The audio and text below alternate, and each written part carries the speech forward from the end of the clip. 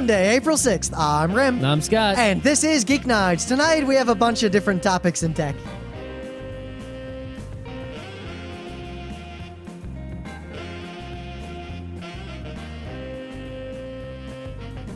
Let's do this.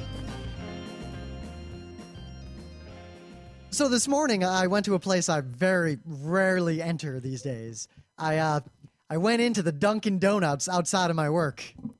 Oh, that one, the place that's combined, that right next to the TGI Fridays. Yeah, the one that's that's also so. That's like the tiniest and worst Dunkin' Donuts. The one that is also a KFC That's in the right. same space. Yeah. I went in because, you know, uh, there was a big rollout at work. So a bunch of people were showing up early from the sales team and the customer support team. And I'm the morning guy anyway. So I wasn't actually going to show up early. I, I told all them, yeah, I'll be here early. I'll help you out. But I'm always there that early. They they don't know. So I even said, you know what? And I'll bring in some donuts. So I went in. And usually I stop at like Starbucks. But instead, Well, Starbucks can't give you donuts in quantity like. Dun- Nah. So normally I go to Starbucks and get coffee, but instead I went to Dunkin' Donuts just to get like a bunch of Timbits. You know, Well, there's gonna be like a million people in that Dunkin' Donuts. no, it's it's seven in the morning. Well, like six forty-five. There's no one there. There was there were like two people in front of me in line, All right. and one guy walked in after. So normally when I stand in line at the Starbucks, I mean, what's the stereotype of a Starbucks coffee buyer versus like a Dunkin' Donuts or a McDonald's coffee buyer? The Starbucks guy is the one who walks in. They're like, "Yeah, I want a double soy light latte with extra this and not enough this and all this sort." They have these really weird. in Dunkin' Donuts, you get coffee. It's actually the exact opposite. Every time I go to Starbucks, it's just one after another. People walk up, they're like, "Tall black coffee" or latte. Like they order very simple, quick, specific things. They're prepared immediately. They're not fussy. If they get the wrong thing, they're usually like, "Eh, whatever," and they just kind of deal with it. Meanwhile, at the Dunkin' Donuts, press A, where it's like an order of magnitude cheaper, like the coffee costs nothing. Mm-hmm. Every single person in that line was giving these outrageous orders like, hey, could you only fill the cup three quarters of the way full and then fill the rest with like half and half, but then at the top put a little bit of vanilla from that thing you got over there and then stir it with one ice cube? Maybe they were like Starbucksy people, but they were at the Dunkin' Donuts trying No, to. no, no, because the the guy says, you know, the usual. And the next guy laughed, and the clerks talked to him. They go to that Dunkin' Donuts every day. And as I stood there waiting for my donuts, apparently shoveling donuts from the donut dispenser into my bin took longer than getting like 10 people coffee. Every single person in this Dunkin' Donuts ordered like this. Like everyone had this I, I would use the word outrageous order. Like the, the the level of fussiness and the level of expectation for their 98 cent coffee. There should really just be like you should go into a restaurant and be like, you know, we don't do anything that isn't on the menu. So if you want coffee, say coffee. You have no, you know, you mean like you can tell me, you know, dark or not so dark. You can tell me yes milk or no milk. You can tell me right, but you can't tell me how much. You can't tell me, you know, if you want it, you do it yourself. You know, fuck, we don't do that. I guess just what amazed me was that the stereotype was kind of reversed that the pe- the people getting the crappy coffee were the most demanding and the people getting the more expensive coffee were generally Eh. less caring. it's all anecdotal anyway. But Well, the problem is it is something that could be studied. it's a weird situation because it is the Dunkin' Donuts on 42nd Street, but at the same time, there are eight Starbucks within a two minute walk of that place. Yeah. I don't know. It's just, but the thing is, you know, they could be people trying to save money, but are also fussy. Yeah, yeah, but I, I have this general feeling. I'm going solely on nothing here. I'm pulling this out of nowhere. I feel like if you did study this, the less, on average, the less people pay for things, the more, not necessarily expectations, but the more demands they may make. And I'll bet it's a cultural thing. I don't know. You gotta. I'm basing this entirely on my experiences at this Dunkin' Donuts. Yeah, this one, this one morning. Why don't you go to Dunkin' Donuts next to us? That's actually nice for a Dunkin' Donuts. Actually, uh, same thing happens at that Dunkin' Donuts if you ever go into it. I never went into it really I'll often, that much. I'll often stop there when I go for a run and grab like a donut just to get some sugar before I go. Hmm. Anyway, That that, that was my morning. That's that's what I got. oh, it's so exciting. Yeah? Oh, it's thrilling. Oh. Uh, do you have any like actual, I guess, technology news of some sort? Oh, I got to go into news a bit. Well, I've realized more and more that in terms of commuting, New Yorkers really have it better than everyone else. Our our commuter infrastructure is amazing compared to pretty much everywhere else in America. Forget the- America. yeah, that, that's an important qualification. Forget the rest of the world. We got nothing on them. of course, uh, I think we beat those Indian trains. yeah, we beat them. What was that video where the people are jumping onto the moving train just to get a seat? Yep. But uh, I didn't realize, you know, I've never been to Boston. I'm gonna go to Boston for the first time for Anime Boston, and then again for PAX East. But I've been to Boston so many times, just not in a while. But yeah, well, I mean, what? I grew up in the Midwest. My vacations were like down to Florida or to Cedar we Point. went to or- Florida also. or to Chicago, but I, we didn't go out east to those eastern places. the good places. Eh, Is it, is it really that good in Boston? Boston's pretty nice. Except, it's also it's also real colonial. except, I mean, like you think it's colonial like around here. When you, you go to Boston. yeah, but you know what's not so nice in Boston? The MTBA. Uh, I'm going to read uh, an excerpt from the beginning of this article because it, it's kind of interesting. And I think this illustrates more than anything why commuter rail or generally a lot of publicly funded things have issues. Quote, It's been documented before that commuter rail service in Massachusetts is among the tardiest in the country, with trains showing up late more than 20% of the time. Hmm. But the official NT MTBA numbers tell only part of the sad commuting story, according to a Globe analysis. The rush hour trains, the ones most people take, are actually late 6% more often than are indicated by the official statistics. Ah, because the other the non-rush hour trains show up on time enough, Well, so they only look at the total numbers. that's the thing. They should do it by person. Oh, you know, oh, how oh, many oh, oh, people oh, get they- on a late train? That's how you should should. figure it out. But it turns out that they very pointedly and specifically aggregate the numbers from the entire day for their statistics. And in fact, they make a point of not tracking commuter versus non commuter so that no one can use those statistics to do anything. hmm They obfuscate the data. And, and I think what bothers me the most is there's a quote, an official quote from the, one of the guys, like the head of all this, and the MTBA. And he says, from a service perspective, I don't want to be saying that one train is more important than another Uh, which either belies his intelligence or I think that yeah. or or more more likely it proves that he realizes that numbers would make him and his department look bad and thus covers them up the most expedient way possible. Well, what they should do is really, I mean, Metro North does the same thing, right? They just give you the total lateness numbers. They don't give you the, you know, uh, times really, do But they? at the same time, one thing I can point Maybe out they. about I think they might actually split peak and off peak. I don't know. one remember. thing I can point out about Metro North is that in all my years of commuting on it, It's mostly on time. the rush hour trains are pretty much never late. And if anything's late, it's the off-peak trains no one cares about. Yeah. Those are The always like is- 5 minutes late. What they should do is they shouldn't say how many trains are late. They should say how many passengers arrived at their destination late. Well, more That's what they should calculate. Is what percentage of passengers, or when you know what they could do? Here's the most accurate number you could use: total passenger late minutes. So if I miss, if I'm late for my stop for five minutes, and there are hundred people on that train, that adds 500 late minutes. You see, and that's how they should figure it out: just total late minutes. But no, here's the more important point. Think about this. How come the trains that are used the most are so much more late? There's clearly either the schedules are bad and they Because the train has to stop at the station longer No, no, as people no, no, no, no, no, no, no. That's not the problem. That that doesn't even factor into this. If the rush hour trains are consistently that late, what jackass is making the schedules say that they'll make it at these times that they clearly can't make? That's also true. That is the fundamental problem that they're holding themselves to a standard that they clearly can't make, and then they're making that standard by lying. hmm Now, the other thing is they really it's it seems like they haven't actually investigated what the specific causes are because it it does break down pretty simply. Either it's people getting on and getting off because you see this Metro North trains, it takes like 5 sometimes 6 or 7 minutes for the beacon train to fill out just because everyone's stupid and they all get into the front car. Yeah, it takes them all this time to just get off the train. You're just sitting there, and well, people get off.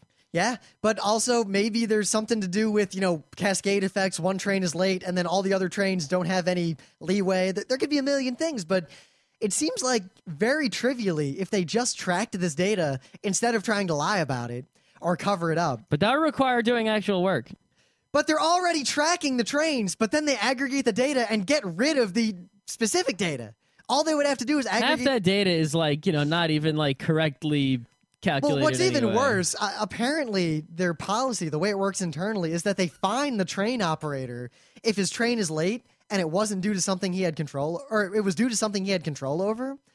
But when would a train operator ever make a train late on purpose or within their control? I mean, I guess you could mess up, right? Like you could, you know, mess up going through the signals or you know something something along those lines. You know, you could, you know, not you could like, you know, not mess up something. but I don't know. it seems like that is not the best way to go about fixing this. Because one, that only encourages people to lie or cover up when they've made a mistake, or say if they're late due to an error, maybe they'll speed to catch up and turn off the safeties because they don't want to get fined. It's also true. That's a ter- I mean, there was even a TED talk about that. That's the exact wrong way to incentivize people to do their job better. yeah, that's right.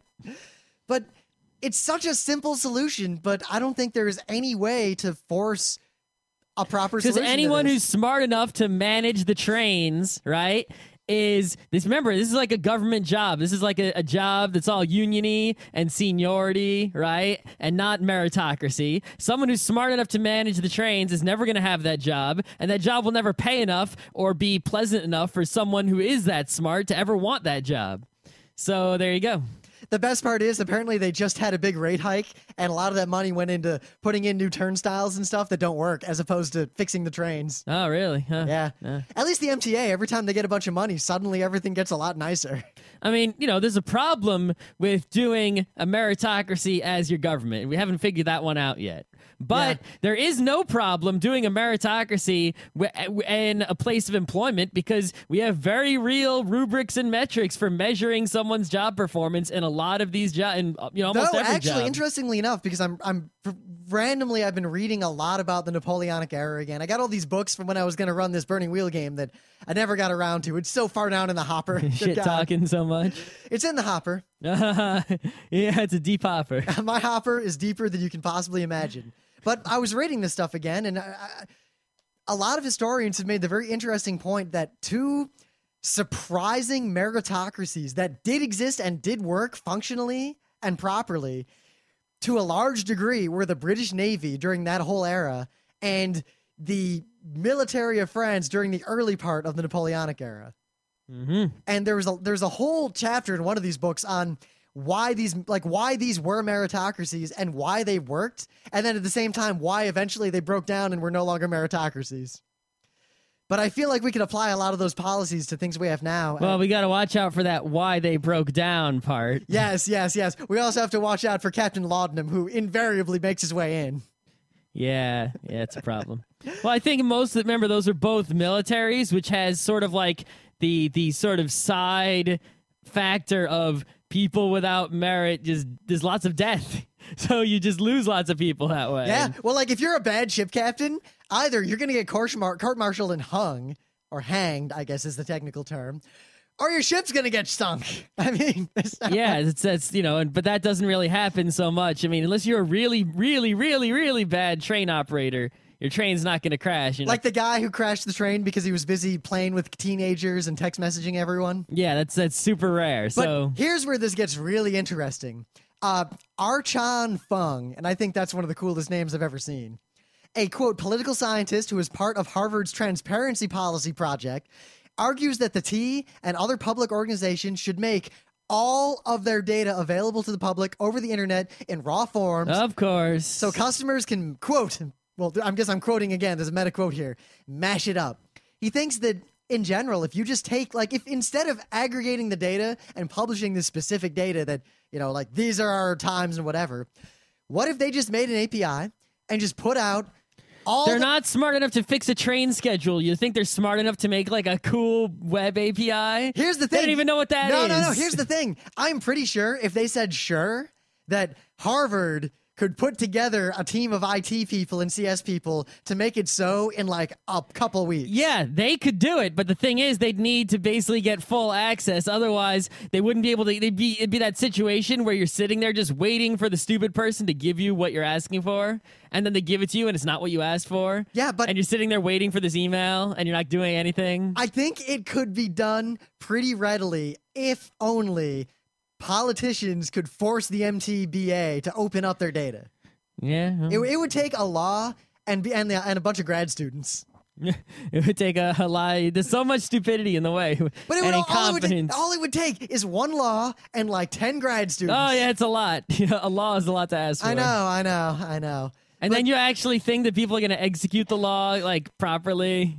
But I do like the idea, you know, politics aside, that any public organization, unless the data they have is politically, like, is sensitive in a way that could cause direct harm to people, should just be completely open to Oh, anyone's absolutely. examination. It's Even a- if they can't make a web API, I should be able to mail them and pay some nominal pittance and just get it all in text format on like a CD. Well, that's what the FOIA is supposed to be for. Except half the time it's all secret anyway. Yeah, it's you know, and they're trying to work on it, I think, but that it's really the results so far have been unimpressive. I know. Of course, the thing is, scarily, you know who some of the biggest pushers of the FOIA stuff are?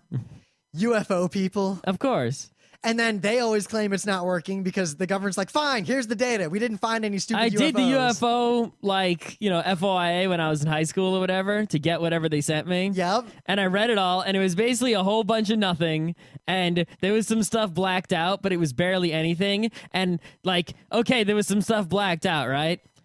If I, if I, anything that could possibly have fit where those words were, would not have meant there are aliens. Actually, remember that There was nothing you could have written that would have made sense in those black spaces that would have, you know, blown the lid off the roof. It was pro- most of the stuff was probably like people's names. you know? Remember way back, not not the thing where you could just turn off the redactions in uh, Adobe documents, but that guy who made the statistical Yeah. analysis program where you could figure out with a reasonable degree of certainty what was redacted just by the context of the sentences. Yep. And also, you know, the stuff where it was printed but then gone over with a marker, they would use a scanner to see it again. Yep, it's pretty trivial actually. We could do that at home. Yep. You can actually do it just like a shiny light and your eyeballs sometimes, Anyway, I depending think on the inks. I think this is an interesting article because it raises a lot of issues that are interesting and it proposes all the solutions we need. But it's one of those things where we know the problem, we know the solution, we have the means to put forth the solution, but it will never happen. And Mm. I I don't know what to do about It's that. the same problem as everything else. Whatever. But but again, I don't know what to do about it. you got to kill all the stupid people. It's Yeah. nothing you can do. I don't think that's the solution either. Well, you know, get rid, not killed literally. You know, just get. You know, it's it's the battle against stupidity. It is never ending, and just give up. So this is a this is sort of a sad story, but it sort of got my mind on a tangent, right? Um, you know, when you install AdBlock Plus, it asks you to choose to subscribe to a filter. Uh yeah. and there's different filters for different countries, you know, and such. Huh. And, and you always pick the uh, the EasyList, right? Because it's the U.S. one, right? Yes. Yeah, yeah. Yeah. Uh, do I have to keep acting you? Yeah. So the uh, the guy who maintained the EasyList, he died. Uh oh. Yeah. Well. So you know that's that's sad that that this guy died. Um. And you know, some people were saying, "Oh no, is the EasyList still gonna be around?" Oh no, yeah, well, yeah, it's, it's gonna be fine. Don't don't worry. You know, worry more about the guy dying than worrying about the ad block continuing to work, right? But but that's all people worry about. Right, I mean, right, but- Reiser, what did anyone talk about on Slashdot? So what's happening to the file system? Right, right. So the thing is that that I thought was interesting is I started thinking, hey, you know, even AdBlock Plus, the greatest ad block system in the world, right? Basically has a human maintainer. There's a guy who goes out there and finds ads and then comes up with the regular expressions to block them. It's it's it's not automatic, you know? Look at like blocking ads with like a DVR. I mean, sure, sometimes it can sort of like go, aha, there was a fade out and a fade in. I'll skip that. But sometimes there's a show with a fade out or in a fade in or a movie or something. And it, you know, it's, or it's not precise and you need a person to actually fast forward and, you know, or cut the ad out in some video editor to put it on BitTorrent or. Well, South Park did it pretty well, where They they, just did it by accident, yeah. they We- forgot to put the ads into that episode we watched. Yeah, that was that was pretty good. So literally, we're watching South Park. Commercial break comes, and there's just a minute and thirty seconds of a blank screen. Yep. It was actually kind of pleasant. Yeah, it was Like, nice. It, was a nice intermission. I, I kind of like that. I tell you, they got to bring intermission back to the movie theaters. But anyway, it it just you know it got me started thinking about like how all these ad block systems are still human systems. It's there is no automatic ad blocking really so much. It's it's always people you know deciding what are ads and what are not ads, and this really. you know, and it's it's sort of a subjective thing there, and it's also sort of there's no, no there's no way it could possibly be done. You know, like what what could you possibly do to have a, a But computer? it- at the same time, this is almost the same issue as the MBTA thing, where by we ha- we have people's brains who are very smart and able to do crazy things that computers are nowhere near and won't be for a long time. Crowdsourcing can solve amazing problems in amazing amounts of time.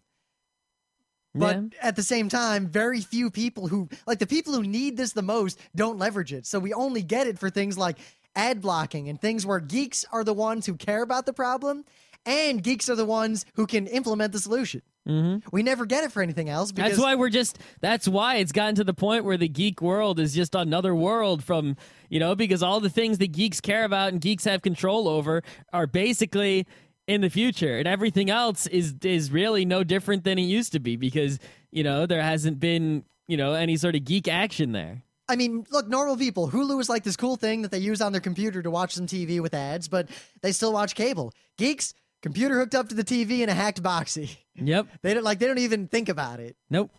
But yet normal people have no access to that. Nope. So what, what what do we do about this? Do we just continue to break away further and further from the society around us? Well, what are you, are you gonna go and give up all your geekiness and live slowly? I can I can be like that uh, neo primitivist that Emily knew in college. yeah, you're gonna be like that.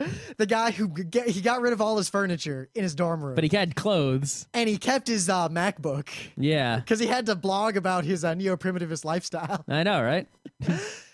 I don't know. Well, I, I wonder if maybe we should. I, I feel like some speculation is due as to what problems this schism is going to cause ten years from now.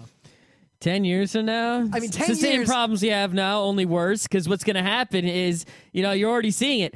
Now it's the situation of, oh no, the newspapers are going out of business. What's the normal person going to do who doesn't know how to use a computer?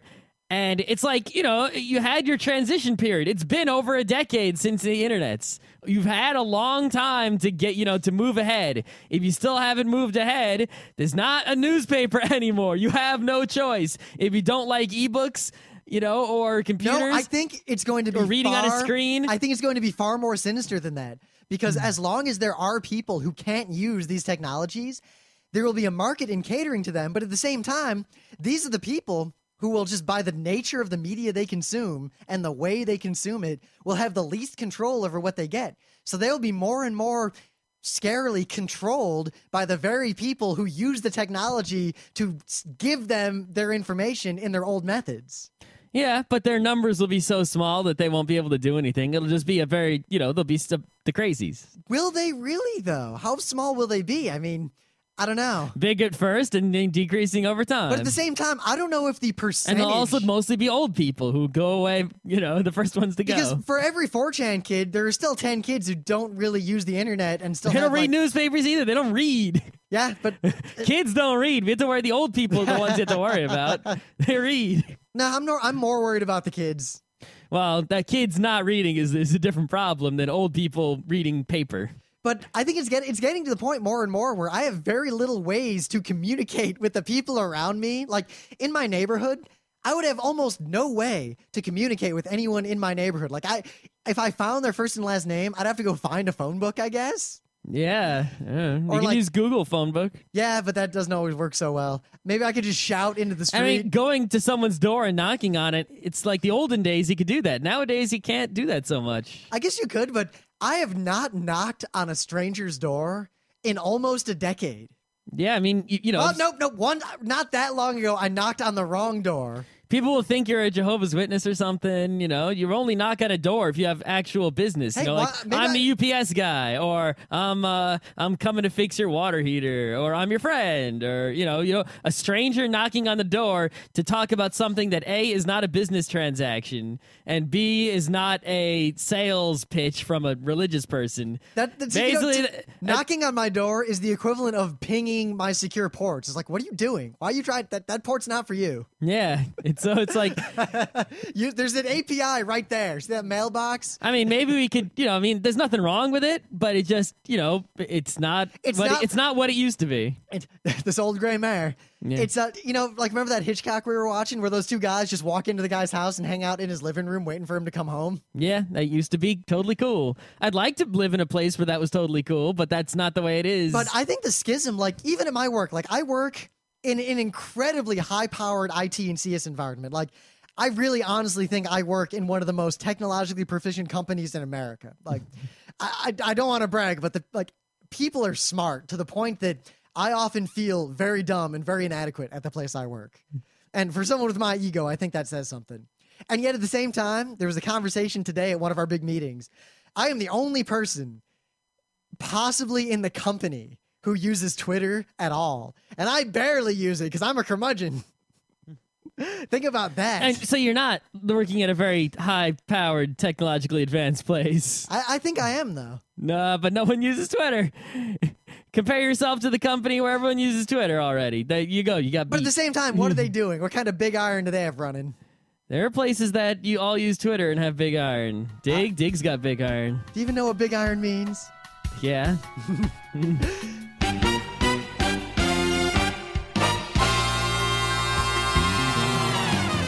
But anyway, I got I got a good thing of the day here. I found this out of nowhere. Like it was Oh shit! I forgot my thing of the day. What was Yeah, but I- I'll talk about mine and maybe you'll remember yours. Uh, But out of the blue, we were talking about peeing because I think I had a I had a particularly long uh, pee session the other day to the point that it woke Scott up in his room. So you know, he comes to me the next day and he's like, "Rym, that was quite a pee you had this morning. You shouldn't pee that loud." And then my response, as I often do, I kind of respond in the real world the way I would respond to someone if I were on Fark.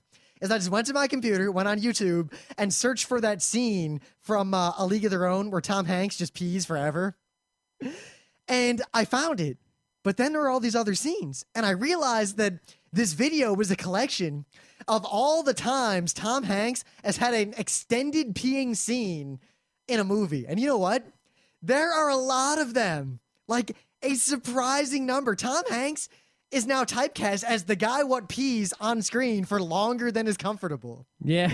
I mean, A League of Their Own, uh, The Green Mile, Apollo 13, uh, the Castaway movie. Uh, there were like four more. It was crazy.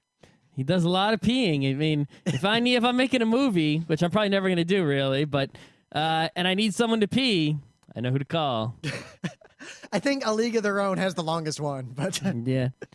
So I forgot my thing of the day, but Oh. I, I remembered an alternative thing of the day, so I don't have to get up and pause the show. all right. So, uh, you know that there's, the, there's a web comic that's pretty old and actually hasn't been updated in a long time called Shabot 6000. Oh, I love Shabot. S H A B O T dot com, uh, 6000 dot com. Get a link to that flash of uh, the one. I forget what holiday it is. Well, he's got a few flashes, but anyway, um, basically, it's a funny comic where you have uh, a robot living with a rabbi, and the and the robot learns about Jewishness, and he's always being like, uh, uh, you know, misbehaving in a in a you know at least Jewish misbehaving. You know, he's like, you know, on Yom Kippur, you know, to help me get through the fast. You know, sometimes I eat a little. so, so um, uh, that guy apparently a year ago made this video, uh, 20 things to do with matzah. And that thing sort of became popular on the internet this year. it took a year, you know, to the next Passover. So it's a fun video of this guy and a girl singing a song about 20 things to do with matzah. And Passover is uh, Wednesday. So it's relevant.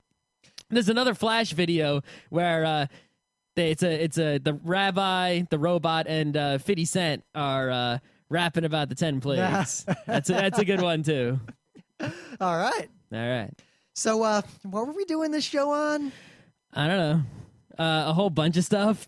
Got it all written down? Uh, some of it. I mean, basically, what happened was is people started giving us ideas for the show, and all of the ideas either a required preparation, right? And the problem with a preparation show is not that we have to do preparation because we have time to do some preparation. Preparation.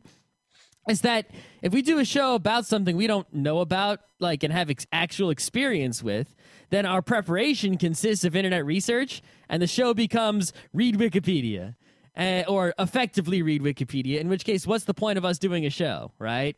If we're going to do a show, it's either it's because we have personal experience with something and we can provide knowledge or insight that is not available on the internet's already with your Google searches, right? Uh, so the other problem is sometimes we get a show topic, but the show topic is so minimal that it would only be like five minutes of talking and that's it. You know, oh, we talked about it and well, we're done. There's there's nothing else to say about that topic. So that we can't really use that for a show because we need like 20 minutes at least of talking.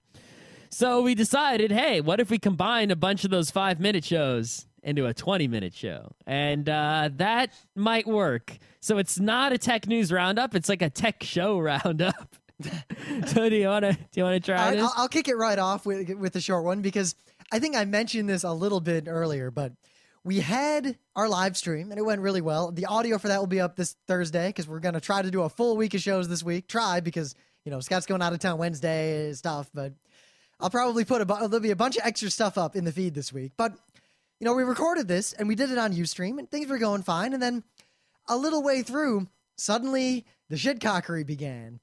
Suddenly and like a lot more than I would have expected for Well, I think what it really started happening. I mean, you know, there were some people who were sort of, you know, Geek Nights fans who were a little bit shit cocky, you know, but they were, you know, sort of relevantly shit cocky. But then we got featured on the front page yeah, of Ustream. if you get enough people in your channel, you'll get to the front page of Ustream, and then random people who just come to Ustream.tv will click on you or just get thrown into your channel, you know. So you get those people, and those people, they're, they're shit cockers. now, I have to preface this because I mean we're both technological people. Scott and I are both aware fully of the nature of the legion of like the hordes of the internet. The John fact that, Gabriel's internet fuckwad theory is not news to us. Yes. We have been playing the you know the FPS is on the internet for since you know last century millennium. I mean, I remember when I would play Quake 1, I would log onto a server and I would be killed by a man named Fuck Jesus who was saying your mother repeatedly in the chat faster than he was shooting me. And then would you know after he killed everyone on the map would go to your corpse and crouch many times. Oh man, good times. and then he would draw a giant penis, and then you know who knows what else would happen. Or like, you know, look at YouTube or I'd go into an. AOL chat room and someone would put in an ASCII art of like naked something, and then Or you just, be like fuck, fuck, motherfuck. I mean, or the the idea that it's kind of like in a in a city. If there's any space where you can write something on it and no one can stop you, the word "fuck" appears. Yeah, and it's anonymous. Yeah, or, or at least Well, I mean, you know, we know the theory: anonymity plus you know Audience. audience equals shitcock, right? Yep. But uh, or YouTube comments. They're just they're a place people can scribble, so they scribble horrifying things. And I knew this. I knew this on an intellectual level. I knew it on a practical level. I used filters like Slashdot and Fark in places to where I don't interact with these things. It's just noise. It's no more than static to me. Like I don't even recognize Yeah. it. I just I mean, sometimes you encounter it, but it doesn't, you know, it doesn't get through because you, you know, we know it's there, we know there's a problem, and we know how to deal with it. We've dealt with it for a decade Yep. at least. I mean, the internet is the Wild West, and I carry a gun and I shoot anyone who looks at me cross-eyed. yep. But I guess I didn't really know it on a visceral level. It's one of those things where you knew it, but at the same time you didn't really because suddenly like the, Like, imagine if you had just had you lived in a coastal town and you had a bat. You weren't like New Orleans. You actually had a real levee that worked, and you just after a century you forgot that there were floods, and then the levee broke.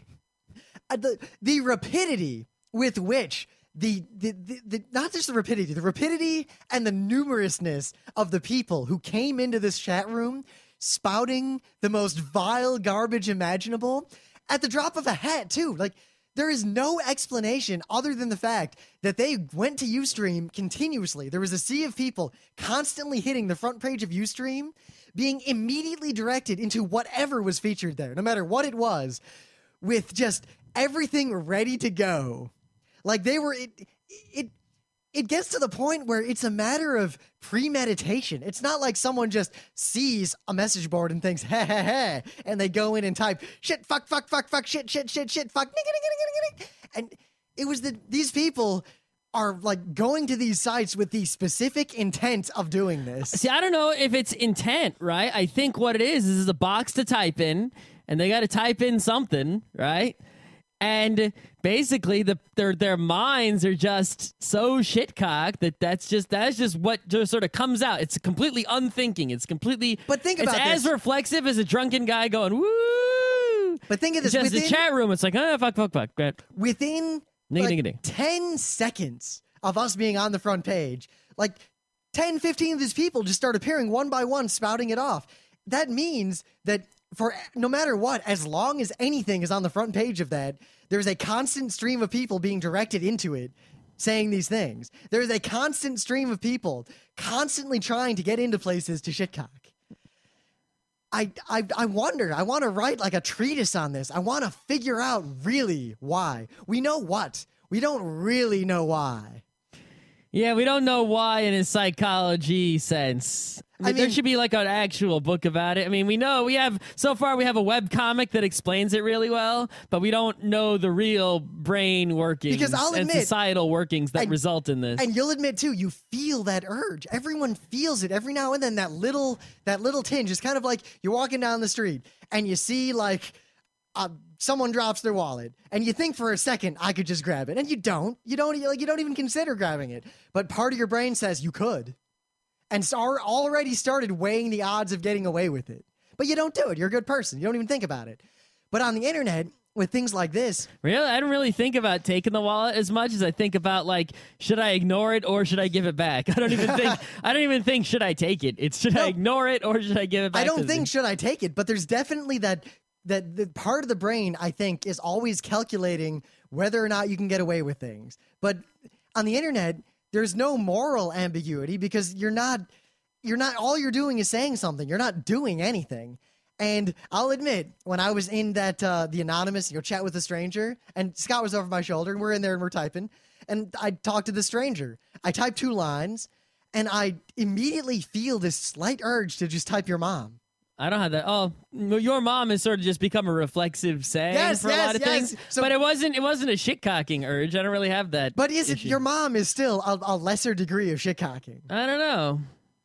Uh, talking to a stranger, hi, how are you? Your mom. Well, that you know the content of it, but with knowing that who we are, it's not. Maybe maybe if we knew who those people were, maybe their shit cocking is actually the same way your mom is for us. Is it really though? Would you, would I join a chat with you and type a racial slur hundreds of times per second until you banned me, No, only to come in with a different name and type a different racial slur? but I mean, like uh, you know, I used to hang out with some Jews back in the day, and we'd be like, "What up, my kikes?" Yo, and it would be, you know, it was a funny thing. But if you said that to someone else, it'd be like, "Oh shit!" but uh, you know, but like if I say it online, like I go into a chat room and I'm like, you know, a Jewish chat room, I'm like, "What up, my kikes?" It would be like shit cocking. But if they would have known me and known our friends and had the context, it wouldn't have been shit cocking. So there is, I think, I'm not going to say that you know all shit cocking is just out of context non shit cocking. But what I will say is I think there is a portion of shit cocking of people who have things that they say in the context of their friends and closer social groups uh, that are bringing those things, you know, sort of out of bounds. You know, they're taking their in jokes, taking them out into the chat rooms of public world where they are taken out of context and thus viewed as shitcocking. And that is a portion of shitcocking. Perhaps a very small portion, but, But- it is but it is there. It does exist. But at least in those cases, it's still there. There's an expectation of communication. Yeah, it's not a hundred racial slurs in a flood. It's like one liner. Plus, even then, there's an expectation of a response. Notice how I think that the real line between shitcock and not not and shitcock specifically is whether or not you actually expect a response. Yeah, because flamers expect a, resp- uh, a response. You know, trolls expect a response. Shitcockers are just putting bad words in a in a flood, and that's it. They, they don't expect a response. They're not going to talk to you. They're just spitting out lots of bad words. Maybe I wonder. Some of it is is definitely like you know the same way as like the little kid who's not allowed to say bad words. It's like oh my god, I can say bad words. But there are so many of them, and there are so many other places they could do this. The fact that they're doing it everywhere simultaneously in real time, 24 7, all the time. I don't know what they're doing it twenty four seven. I think that we have to try this. We have, if we did a Geek Nights Ustream or and got enough people in on Christmas no, Day. is it the same person all day? I mean, it's a rotating. No, I'm saying that at any second there is like in any public space that is big enough to warrant notice there are people trying to shitcock there Hmm. Kind of like how on the internet if you have a cable modem and no net someone is hitting all your ports all the time Yep. except on the internet you know literally it's just people typing fuck at all your ports all the time Right. All right. So moving on. Oh, so let's. You want to talk about? Uh, I had this problem today, right? What I wanted to do is I'm on UStream, right? And I'm, I'm sitting there and I want to teach some people some computer stuff, right? So what could I do? I could point my webcam at my screen, not good. I could get a big whiteboard, but Rym didn't order it yet, right? yeah i got a big uh, amazon order in the queue I could, or I could go and find something that would basically take my screen and stream what's on my screen, right? And webex huh? webex does it really well Well, but see, the thing is, that's well- a commercial product though Yeah, it's a commercial product, right? There's something else, Webcam Max, also commercial product. There are a bunch of free ones, they all suck. There are some that do it like, you know, a go-to meeting or something like or like a VNC kind of thing. You know, the problem with those is that they're not, you know, at, they're not like web-based video streams like YouTube, like UStream. They're like, you know, you connect to my computer kind of, you know, remote desktop things. It's completely different. And really, there wasn't a solution. There just there just wasn't. Like everything out there, like there were some some almost solutions, but everything was poop. There was like no way to take what was on my screen, stream it over streaming video in a web page a la Ustream with good enough resolution for people to see what was in my terminal, right? And have it be really accessible to the viewer so that lots of people could watch but also have the communication mechanisms integrated. You know, the chat room and me talking to them and the whole right. It's like I could have done this separate from the UStream, but then people would have joined the UStream and then also join that and also get a piece of software. It was like so much work, you know, just to make this happen where it should have been really easy. And I think the best solution that I came up with was get a webcam, bust it open, take out the camera get some sort of device that has a VGA cable in one end and then connects to the camera spot on the webcam on the other end. So it's basically VGA to USB. So you have it coming out of your video card into a device into your USB hole, and thus it your computer treats um you know you duplicate the monitors using clone, and then your computer would think the second monitor was also a webcam and would thus be able to stream it. Yeah I but- couldn't find anything better than that. See, now I feel like the the market here right now in the short term, if Ustream just had an option to share a desktop, They do, but it's it's uh, you have to get the stupid program that costs money. if Ustream could just do it without doing that. Yeah, the problem is on Windows, right? Because the way Windows works, the only Well, way no, that, that what I was about to say is that if you just share it as video, that's still that's a lot of bandwidth, and it's going to be really lossy and terrible compared to doing it, you know, like with the MSTSC. exactly. But MSTSC is not set up by default to like you can't just use that through something like Ustream yep. I don't know. and X forwarding. Uh, no, no, no, it's not gonna happen. But yeah, it's like the way to do it, right? With the video part, is you have to basically put a driver in Windows in between, you know, like the mon. It's to be a webcam driver that picks up on you know the video out, and that's totally the wrong way to do it. But because of the architecture of Windows, that's the way it has to be done. You know, there was something called like Webcam Studio for Linux. I couldn't even get it to work on Ubuntu. It just didn't install. I didn't. Yeah, I, well- I didn't have time for that shit. I there were a lot of solutions that required a lot of work, and I wasn't about to deal with them. I had that problem just looking for a screen scraper for my own desktop just to make some. Uh, way back, I Oh, was there's going to make. plenty of solutions to record your desktop. oh, there are, but even then, in Linux, many of them either don't work or are really shitty. Well, XVidCap is is fine. it's okay, but you just the thing is you have to do the encoding yourself afterwards. It makes a gigantic full res AVI. yeah. You know, but at least it I- doesn't destroy your performance like some of the other ones do that because they encode while they're going along. So it's like your performance goes to shit and you can't work. Yeah, of course, I got two cores. I could live with that. But nah, XVidCap worked pretty well, but it wasn't optimal. It was just Yeah. the best one. And it doesn't. Uh, VidCap also right. It might record the, the your screen. It doesn't record the audio, so you have to do, you have to dub it later. Yeah, or I, I mean, I or guess you I push could, record and Audacity at the same time. Yeah, but that's, That's- still it gets out have- of sync. You're gonna have trouble. Yeah, you need to you need to record that vi- audio, dub it in a program that also takes the video into account, so the dubbing is you know timed properly. Maybe our answer is just to have a big whiteboard and a camera. Yeah, but I also think having a computer where the VGA cable goes into you know like a capture card or something would also uh, be uh, like the correct solution that would work properly. You know, it's still it just it really sucks because you shouldn't need hardware to do it, but I think we do. Uh, all right. All right, you got more? I I only remember the one I brought up. So Uh, okay. Uh, someone wanted us to do a show about regular expressions, and I was sort of like, you know, why should we do a show on regular expressions? I mean, first of all, regular expressions are a very visual thing. If you're going to teach them to someone, you need like terminals and things, you know, open and text editors that you can, you know, visually show what's all about. And also, everything I've learned about regular expressions, I've learned from the internet. So, this is also a web. There's one website you'll know if you find it. It's very high up on Google. If you do searches for regular expressions, it's sort of orangish, and uh, yep, I've I've used that because that I'll often- website has really, pretty much everything you need to know. Yeah, because even you know I use I use them on a daily basis, constantly. But every now All and the then, time. I'll, I'll forget some obscure syntax, or I'll I'll try to think of a like I do something, but it's kind of inefficient. I pretty much need them as need like a reference all the time because I don't remember a hardly any of the syntax. I remember all the or like I I'll come up with a regular expression, but I'll need I'll hate it because it's not perfectly optimal. So I'll have to go search around to like get it optimized. Yep. Or half the time I'll end up I'll use like a regex that gets the job half done. And then my output gets pipe set aux something to get my real output.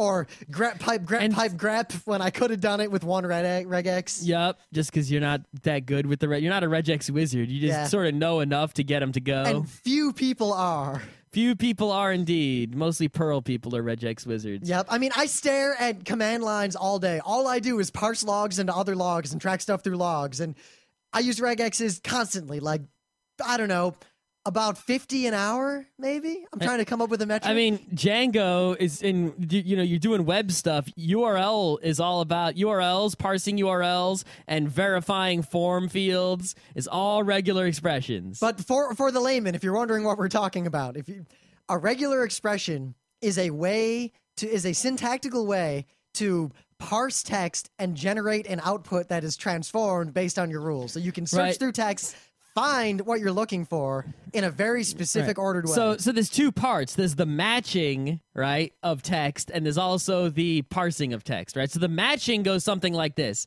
Let's say I have a regular expression that is like, you know, um, uh, you know, I. I'm not going to actually speak in the syntax of regular expressions because that won't. It'll just confuse the hell out of you. That'll sound like uh, DCSS. But let's say Right let's say I'm looking for a phone number, right? I'm looking for a phone number. I want to know if what the person typed in is a phone number. So we've I say three digits followed by a hyphen, followed by three digits, followed by a hyphen, followed by four digits, right? So there's a language where I can type in. It would be something like, you know, uh, backslash D curly brace three hyphen backslash D curly brace three hyphen backslash D curly brace four, right? And what that would say is three digits followed by hyphen, followed by, right? So then I can tell the computer, here's my regular expression, the shit with all the curly braces. Here's a, here's the per, the thing the person typed in. Does it match? And if the person typed in a phone number, meaning three digits followed by hyphen and so on, it'll give me a yes, thumbs up. And if what they typed in has like letters in it or has four digits followed by three digits followed by a slash, it'll say thumbs down. So that's the first thing you can do with regular expressions is you say, does this match? Thus, you can take some unknown input that is text, right, or numbers and symbols, and determine if it matches this format that you're looking for. Now, right? to it, just just to give you an idea of how powerful this is, just on this front part, you could trivially write a rule that also, you know, it, it could look for this three digits that may or may not be surrounded by parentheses, followed by either a space or a hyphen or the parentheses from before, and then four digits, and then, or, or actually, and then three more digits. And then four digits with or without that whole first section. So you could find out, like, you could look for almost any format someone could type a phone number in. Yeah, go online and look for something. Go do searches for like email address regular expressions. And they'll people will have all these different crazy regular expressions that match like they match anything that could possibly be an email address and don't match things that are not email addresses. And it, it gets pretty crazy but it's it's ridiculously powerful. And it you know it has lots and lots of applications. Like i said let's say you're making a website and you have people typing things into the boxes on the website and you want to make sure that what they typed in is correct you could use a regular expression. Let's say you've got a big file full of I don't know, uh, like like data, right? And you want to look and it's just a text file. It's not in a nice spreadsheet or anything. And you want to look for people who live in New York. So you can, you know, do a regular expression looking for NY capital with spaces around it, you know, or you know, all sorts of, you know, different combinations of things that that will result in that being a you know and you could say give me any line in this file this is what grep the program grep does you could be like give me any line in this file where you see the letters ny and it will only spit out those lines in the file and not spit out the other lines. Yep. And they're great for looking through log files. You know, I want to see every message that was sent to or from this list of three clients that involves a timeout on this thing. Yeah, I've got this big old file full of all the logs, everything that the web server has done for the past hour. Give me every line in this file that has the word error in it so I can just see the errors. Or you can use them programmatically for things like log channels. Like, say you write complex programs or daemons. So, say you have every log line start with an integer from one to nine, and then a space, and then the line. So, you could designate, say, that uh, channel one is major errors, channel two is minor errors, channel four is debug, channel nine is like infra events no one cares about. And you can have a, a log masker that uses regular expressions that will basically say, if the log line I'm about to write is in channel four, you know, it begins with an integer four, then write it. Otherwise, don't unless I change the log mask. Yep. So there are lots and lots of ways to just use the matching capabilities of regular expressions. We haven't even scratched the surface on that, right? I mean, you, you use something like awk, you're you're going way. You can. It's crazy powerful, crazy powerful. But you think that's powerful? Regular expressions have one other function, and that is the you know the parsing uh, functionality. So what you can do is you can say, let's say I'm doing, I'll use the phone number again, right? So I'm doing the phone number, and the phone number has, you know, that area code at the beginning, right? So I can say match a phone number, three digits followed by whatever, followed by three digits, followed by four, right, four digits. But I put some parentheses around those first three digits. Now I can say, all right, look at this whole big file. Find anything that matches a phone number. And then spit out just the just the area code part. Give me that area code part so you can extract parts of what you have matched, right? So like I could match uh, email addresses and I can just pull out just the domain part. You know, I could be like, just give me all the domains. And I could say, like, how many yahoo.com email addresses are in here? How many gmail.com email addresses are in here? You know, um, I could go in and you could, you know, so by pulling out different parts, you can actually start to do some really crazy stuff. Like, I have a script I wrote that will rename. You know, you download an anime fan sub, right? And the file name is this crazy fucked up thing, right? You've got, and people do it all different ways, you know, and they've got, they put in like the name of the fan subber in there. You got the episode number in there. You got the file extension in there, right? You got all this junk in there. So I'll wrote this program that basically it checks to see if, you know, this you know file it looks at all the file names in the folder and it says does this file name match you know is it a anime fan sub all right so it mostly looks for like an mkv or avi file extension right?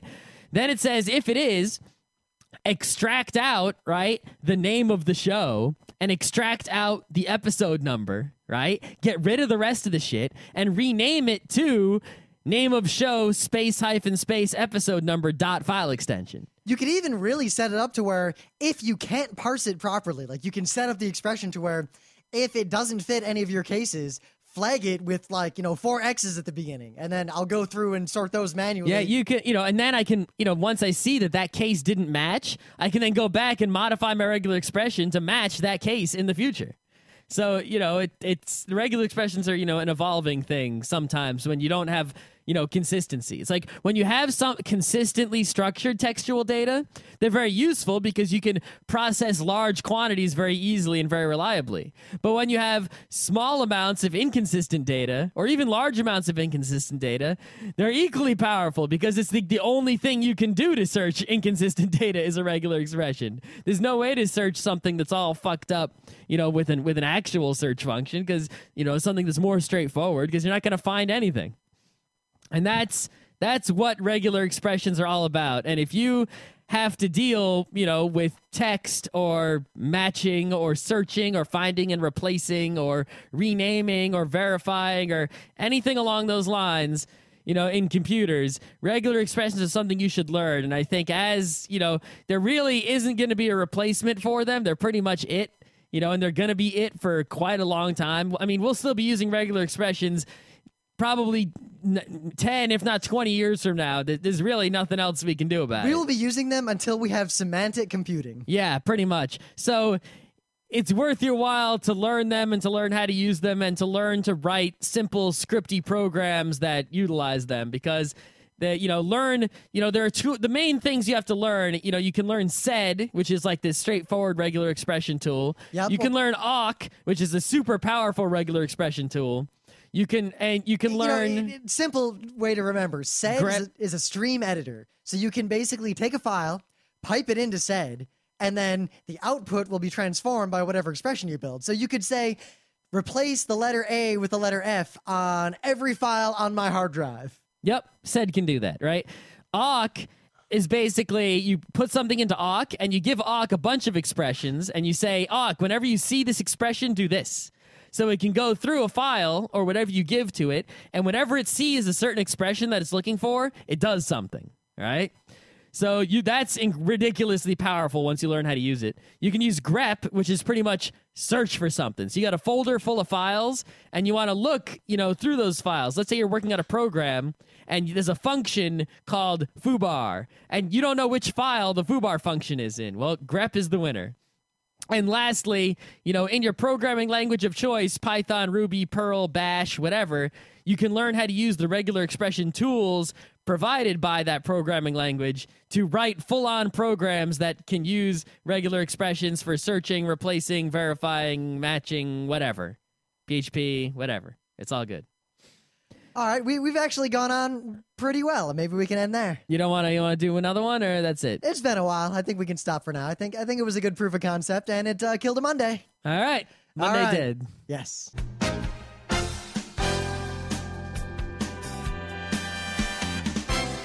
This has been Geek Nights with Rym and Scott. Special thanks to DJ Pretzel for the opening music. Be sure to visit our website at www.frontrowcrew.com, where you'll find show notes, links, our awesome forum, a link to our Frapper map, and links to all the RSS feeds. We say feeds plural because Geek Nights airs four nights a week, covering four different brands of geekery. Mondays are science and technology. Tuesdays, we have video games, board games, and RPGs. Wednesdays are anime, manga, comic nights. And Thursdays are the catch alls for various rants and tomfoolery. You can send us feedback by email to geeknights at frontrowcrew.com, or you can send audio feedback via Odeo. Just click the link that says Send Me an Odeo on the right side of our website.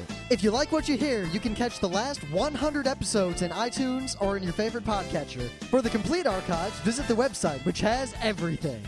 Geek Nights is distributed under a Creative Commons Attribution Non Commercial Share Alike 2.5 license.